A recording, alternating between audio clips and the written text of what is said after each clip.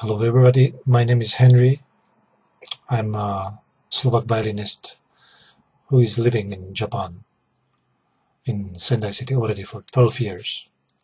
I love this country, I love all, I love all this, these people, wonderful people. I have many friends here.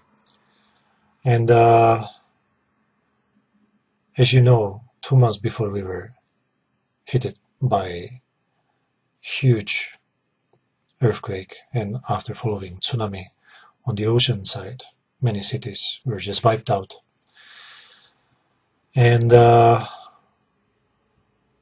after this we were, we are still facing the nuclear crisis in Fukushima Daiichi.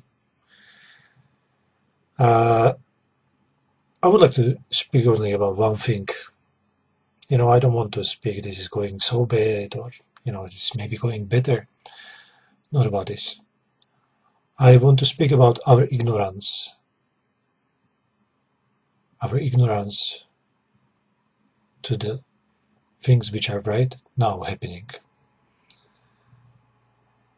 Our fathers and us, we believed to all those people who were trying to tell us that nuclear energy is safe, that the radiation is safe, and uh, we believe them.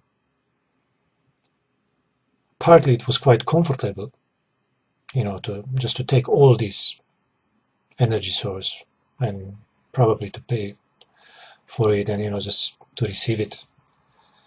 But uh, I think even more bigger disaster than Fukushima would be our ignorance to it. We have to be more critical to all those people who were trying to tell us that nuclear energy is safe. As you see, after Chernobyl and Fukushima Daiichi accident, that nuclear energy is very dangerous and unsafe. And uh, it is affecting many, many people. Still, there are governments and people who are trying to tell us that it's safe. They are uh, setting higher standards for the children to receive more, more radiation. I think this is very, very wrong. You know, uh, in Germany, there is a limit, the same limit, just like they set for the children in uh, Koriyama and Fukushima City. But this limit is for the workers at the nuclear plant in Germany. Where are we going? We are accepting this. I know this is not easy for anybody, especially for those parents in Koriyama and Fukushima City and other more other places in Fukushima prefecture. But if we start to ignore this, is not good. We have to speak out and we have to show what we feel about this.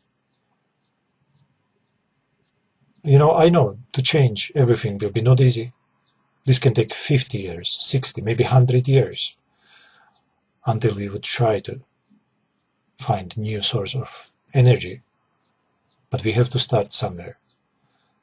Definitely, we cannot start by ignoring that the nuclear energy is really unsafe and right now uncontrollable.